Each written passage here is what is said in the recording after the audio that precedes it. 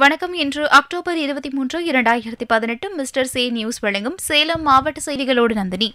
சேலம் அருகே எட்டாம் வகுப்பு மாணவியை வெட்டி கொலை செய்து தலையை சாலையில் வீசிய சம்பவம் பரபரப்பை ஏற்படுத்தியது. சேலம் மாவட்டம் ஆத்தூர் அருகே உள்ள தலவாய்ப்பட்டி கிராமத்தைச் சேர்ந்தவர் விவசாயி சாமிவேல். இவரது மகள் ராஜலட்சுமி இவர் அங்குள்ள அரசு பள்ளியில் எட்டாம் வகுப்பு படித்து வந்தார். இவர்களது தோட்டத்தின் பக்கத்து தோட்டத்தைச் சேர்ந்தவர் ரிக்வண்டி தொழிலாளி தினேஷ்குமார். சாமிவேல் வீட்டிற்கு அரை நிர்வாணத்துடன் வந்த தினேஷ்குமார் ராஜலட்சுமி கண்ணிமைக்கும் நேரத்தில் அவரை வெட்டி கொலை செய்தார். பிறகு ராஜலட்சுமியின் தலையை துண்டித்து அதை எடுத்து சென்று சாலையில் வீசியுள்ளார். இதைத் தொடர்ந்து அங்கு வந்த தினேஷ்குமாரின் மனைவி சாரதா அவரை அழைத்துச் சென்று ஆத்தூர் ஊரக காவல் நிலையத்தில் சரணடையச் செய்தார். கொலையாளி சைக்கோவாக இருக்கலாம் என சந்தேகம் தெரிவித்த காவல்துறையினர் கொலைக்கான காரணம் குறித்து விசாரணை மேற்கொண்டனர். இதனிடையே கடந்த இரண்டு நாட்களுக்கு முன்பு தனது இரண்டரை வயது மகன் செல்வந்தீஷனை தினேஷ்குமார் கழுத்து நெரித்து கொலை செய்ய முயன்றதும் தெரியவந்தது. பெரிய சீரகப்பாதையில் பாதையில் நிறுத்தப்பட்ட சாலை பணியை முடிக்க பொதுமக்கள் கோரிக்கை விடுத்துள்ளனர். சேலம் மாவட்டம் வீரபாண்டி ஒன்றியத்திற்குட்பட்ட பெரிய சீரகப்பாடி ஊராட்சி பகுதியான ஏரிக்கரை பேருந்து நிறுத்த பகுதியில் இருந்து ஒரு கிலோமீட்டர் தூரம் தார் சாலை அமைக்கும் பணி கடந்த மூன்று மாதங்களுக்கு முன்பு தொடங்கப்பட்டது. ஆனால் தற்போது இந்த பணி நடைபெறாமல் கிடப்பில் உள்ளது.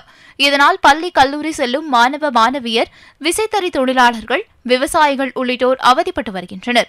எனவே இந்த சாலையை விரைவில் சீரமைத்து தர தார் சாலை அமைக்க மாவட்ட நிர்வாகம் நடவடிக்கை எடுக்க வேண்டும் என அந்த பகுதி மக்கள் கோரிக்கை விடுத்துள்ளனர்.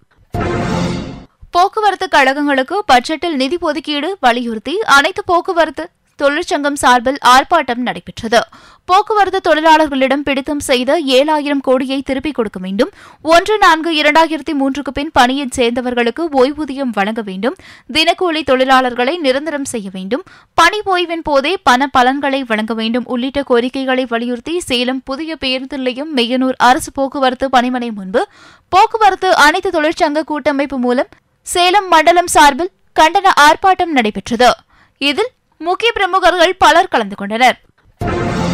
ஆத்தூர் தேசிய புறவழிச்சாலையில் நேற்று காலை இருசக்கர வாகனத்தின் மீது சரக்கு வாகனம் மோதியதில் இருவர் உயிரிழந்தனர்.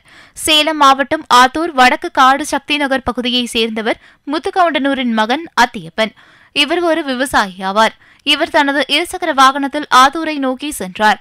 அப்போது தேசிய புறவழிச்சாலையில் சென்றபோது எடப்பாடி புலாம்பாடியில் இருந்து கூலி ஆண்களை ஏற்றிக்கொண்டு கள்ளக்குறிச்சியை நோக்கி சென்ற சரக்கு வாகனம் இருசக்கர வாகனத்தின் மீது மோதியது.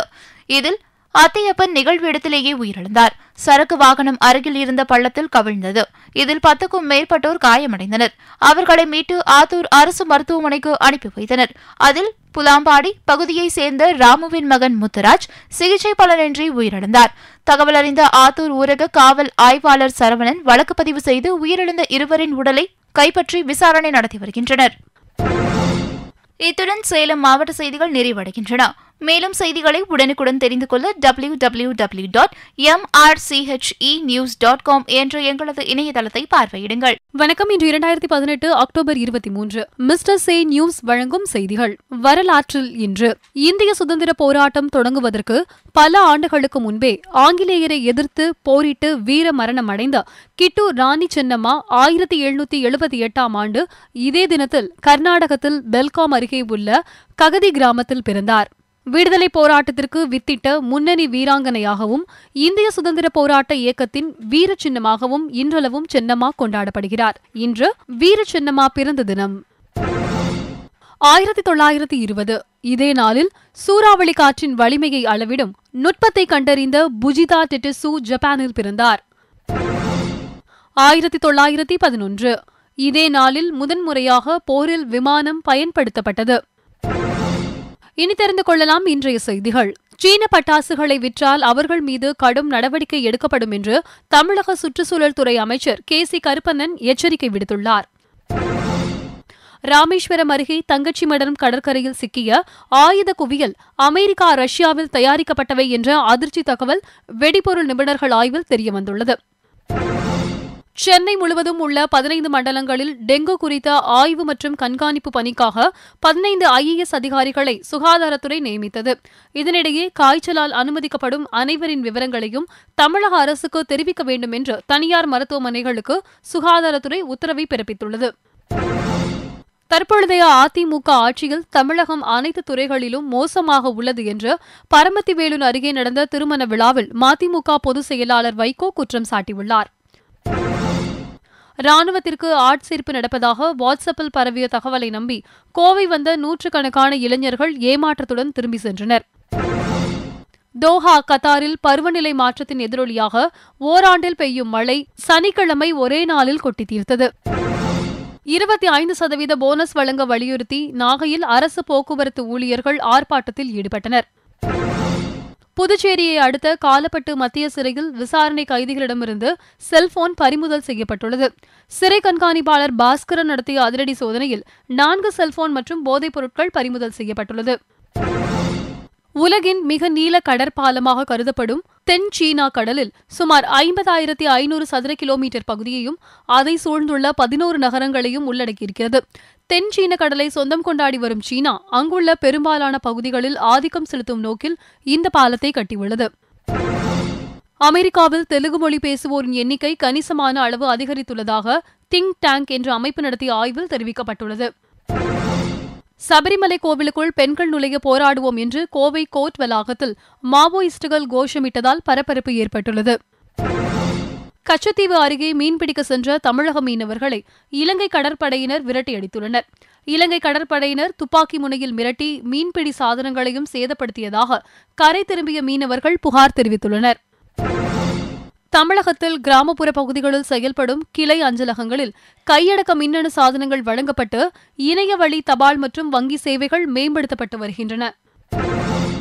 தலைநகர் டெல்லியில் டெங்கு பாதிப்பு மேலும் தீவிரமடைந்துள்ளது. இந்த மாதத்தில் இதுவரை மட்டும் ஐநூத்தி முப்பத்தி ஒன்பது பேர் இந்நோயால் பாதிக்கப்பட்டுள்ளனர். கடந்த வாரத்தில் மட்டும் சுமார் இருநூறு பேர் டெங்குவால் பாதிக்கப்பட்டிருந்தனர். வடகிழக்கு பருவமழை துவங்க மூன்று நாட்களே உள்ள நிலையில் தென்மேற்கு பருவக்காற்று திசை மாறி கிழக்கிலிருந்து வீச தொடங்கியுள்ளது. மீ டூ விவகாரம் தொடர்பாக வெளியாகும் பாலியல் குற்றச்சாட்டுகள் அதிர்ச்சி அளிப்பதாக உள்ளன என்று இசையமைப்பாளர் ஏ ஆர் ரஹ்மான் ட்விட்டரில் தன்னுடைய பதிவை பதிந்துள்ளார். பெண்கள் டென்னிஸ் சாம்பியன்ஷிப் போட்டியில் அமெரிக்க வீராங்கனை ஸ்லோனோ ஸ்டீஃபன்ஸ் ஜப்பான் வீராங்கனை நவோமி ஒசாகாவை தோற்கடித்துள்ளார். துபாயில் உள்ள முன்னணி கல்வி நிறுவனம் ஒன்றில் காலியாக உள்ள ஆசிரியர் பணியிடங்களுக்கு தகுதியானோரிடமிருந்து விண்ணப்பங்கள் வரவேற்கப்படுகின்றன. காஷ்மீர் குறித்த பாகிஸ்தான் பிரதமர் இம்ரான்கானின் ட்விட்டர் கருத்திற்கு பதிலடி கொடுத்துள்ள வெளியுறவு அமைச்சகம் அண்டை நாட்டின் உள் விவகாரங்களில் தலையிடுவதை நிறுத்திவிட்டு பாகிஸ்தான் தன்னுடைய மண்ணில் வேரூடி கிடக்கும் தீவிரவாதத்தை களைவதில் கவனம் செலுத்த வேண்டும் என்று வலியுறுத்தியுள்ளது. ஹாங்காங்கில் இருந்து சீனா வரையிலான உலகின் மிக நீளமான கடல் பாலம் இன்று திறக்கப்பட்டது. ஐம்பத்தி ஐந்து கிலோமீட்டர் தூரம் வரை நீளும் இந்த பாலம் கடந்த இரண்டாயிரத்தி பதினாறாம் ஆண்டு கட்டி முடிக்கப்பட்ட போதும் இந்த ஆண்டில்தான் அது முழுமை பெற்று திறக்கப்பட்டது. சுமார் இருநூறு கோடி டாலர் செலவில் கட்டி முடிக்கப்பட்ட இந்த பாலத்தை சீன அதிபர் ஜி ஜின்பிங் இன்று பொதுமக்கள் பயன்பாட்டிற்காக தொடங்கி வைத்தார்.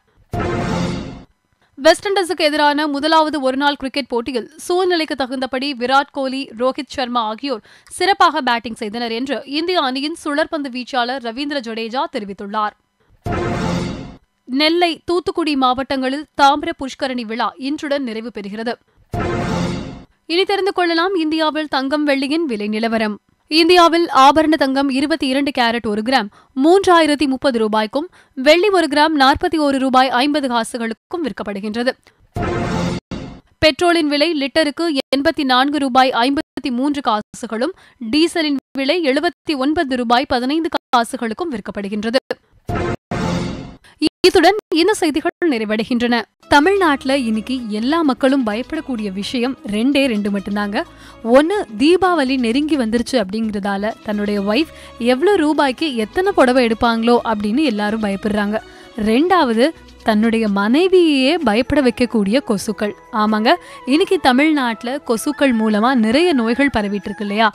ஏடிஸ் கொசு மூலமா டெங்கு காய்ச்சல் வரவுது இதை தவிர ஸ்வைன் ஃப்ளூ அப்படின்னு சொல்லப்படக்கூடிய பன்றி காய்ச்சலும் எல்லா இடங்கள்லயும் வந்துட்டு இருக்கு அதுக்கப்புறம் மர்ம காய்ச்சலும் இன்னைக்கு தமிழ்நாட்டுல அதிக அளவுல பரவிட்டு இருக்கு இத சரியா முறையான நேரத்துல கண்டுபிடிச்சோம் அப்படின்னா உயிர் இழப்புகளை தவிர்த்திடலாம். சரி முதல்ல இந்த டெங்கு காய்ச்சல் பத்தி தெரிஞ்சுக்கலாம். டெங்கு காய்ச்சல் டெங்கு வைரஸ் அப்படின்னு சொல்லப்படக்கூடிய வைரஸ் மூலமா பரவக்கூடிய ஒரு காய்ச்சல். இந்த டெங்கு வைரஸ் ஏடிஸ் கொசு அப்படிங்கிற கொசுக்கள் கடிக்கிறதன் மூலமா நம்மளுக்கு ஏற்படுது. இந்த நோயுடைய அறிகுறி கடும் காய்ச்சலோட மூட்டு வலி தசை வலி தலைவலி தோல் நமைச்சல். இந்த மாதிரியான அறிகுறிகள் உங்களுக்கு இருந்ததுன்னா உடனே நீங்க மருத்துவமனைக்கு போய் சோதனை பண்ணிக்கிறது ரொம்ப நல்லது. இந்த நோய்கள் தீவிரமடைஞ்ச நிலையில ஒருத்தருக்கு எலும்ப முறிக்கக்கூடிய வகையில கூட மாறக்கூடுமா? இந்த நோய்கள் குறிப்பா பாத்தீங்கன்னா வடக்கு அர்ஜென்டினா வடக்கு Australia Bangladesh Bolivia Belize Brazil Cambodia Colombia Cuba France India Indonesia Ilangai இது மாதிரி வறட்சியா உலர் வெப்பநிலைய நாடுகள்ல தான் பெரும்பாலும் அதிகமா பரவுதான். ஏடிஸ் கொசுக்கள் கடிக்கிறதன் மூலமா குறிப்பா குழந்தைகள் சிறுவர்களும் அதிகமான நோய்க்கு ஆளாறாங்களாம்.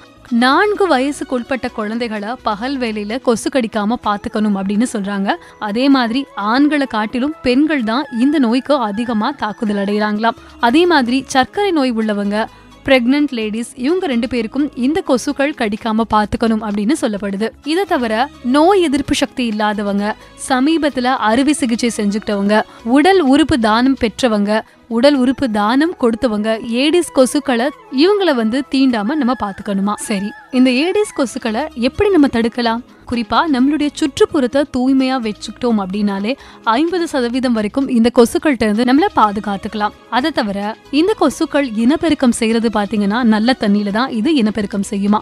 அதனால நம்மளுடைய வீடுகள்ல சுற்றுப்புறத்துல நீர்நிலைகளை நம்ம தேங்காம பாத்துக்கணும். குறிப்பா தேங்காய் சிரட்டை ஆட்டுக்கல் இது மாதிரி இடங்கள்ல தண்ணீர் தேங்காம பாத்துக்கணும். வீட்டுக்குள்ள ஏற்கனவே தண்ணீர் வச்சிருந்த பாத்திரங்களையும் குடங்களையும் பானைகளையும் மூடி வச்சோம் அப்படின்னா ரொம்ப நல்லது. தூங்கும் போது கொசுவலையை பயன்படுத்தி நம்ம தூங்கணும். நம்மளுடைய தோலை கைப்பகுதி கால் பகுதி இதுல முழுவதும் மூடக்கூடிய ஆடைகளை பயன்படுத்துறது ரொம்ப நல்லது. கொசு கடிக்கு எதிரா இருக்கக்கூடிய களிம்புகள் கொசுவருத்தி சுருள் இதையும் நம்ம பயன்படுத்தலாம். இந்த நோய்கள் வந்துருச்சு அப்படின்னா நம்ம யாரும் பயப்பட தேவையில்லை.